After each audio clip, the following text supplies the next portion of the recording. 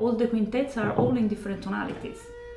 So and every tonality has a very special color. So already this allows to, uh, to have completely different worlds, and you have everything. You have humor, you have passion, you have sorrow. You you find really it's an exploration of all possible human beings' feelings or situations. Uh, they are so different.